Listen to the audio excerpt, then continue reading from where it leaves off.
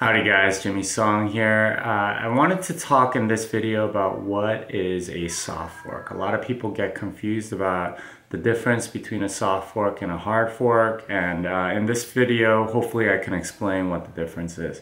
So a hard fork, um, I've, I've mentioned this before, is a backwards incompatible upgrade. Um, that is, you, everyone has to upgrade their software or else uh, the network gets split.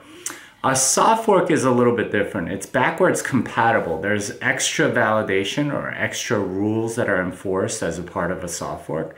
Uh, so it can cause sort of a temporary split if uh, if not everyone uh, you know agrees to enforce it, and there's a particular type of network splitting transaction or something like that.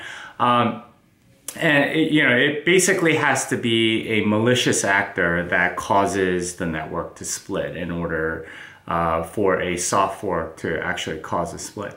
Uh, but more or less, it's the difference between a backwards compatible fork and, and a backwards incompatible fork. That's the difference between a soft and a hard fork. So for example, SegWit was a backwards compatible soft fork, uh, backwards compatible upgrade. That is, everyone that was running the software before uh, didn't have to upgrade. And in fact, many didn't. And as a result, they didn't do the extra validation.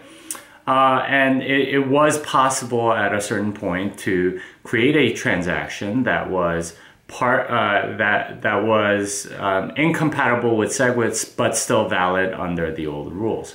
Um, and that's the idea is, is, that you you do extra validation, so you're you're tightening it, or um, you're causing people to do more validation if you want if they want to check everything. But if you're an older fork, uh, older older piece of software, then you don't have to, and that's that's a good thing.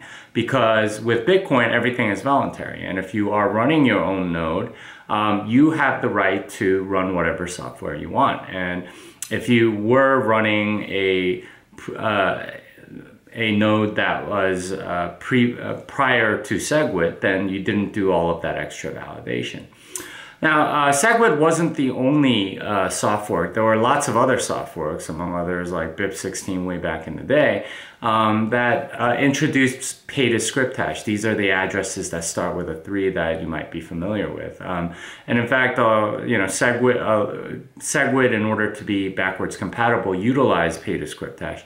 And everything is always sort of backwards compatible with Bitcoin. And that's, that's uh, one of the strengths is that things don't change very much. Whereas with a lot of these altcoins, they will just straight up uh, hard fork, force everybody to do a network upgrade. Now, um, there are pros and cons to this. The pro main pro is that uh, you know it's very easy to make upgrades if it doesn't have to be backwards compatible. Um, and you know it's a it's a lot easier to write things from scratch than to make it backwards compatible. But um, that is a very centralizing thing. Anytime anyone, uh, you know, is creating a hard, has a hard fork, um, you know, that they, they have the power more or less and anything goes in a hard fork. You can, uh, you know, roll back certain transactions or do whatever you want. Um, and, uh, and a lot of these developers do, you know, Ethereum famously, um, you know, paid back everybody for the DAO. Um,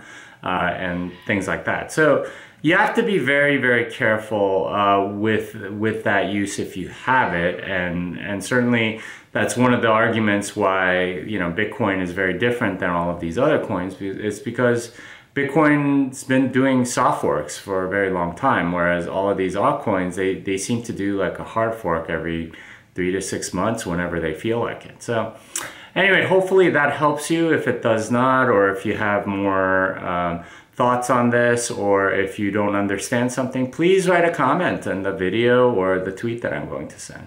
This song is done.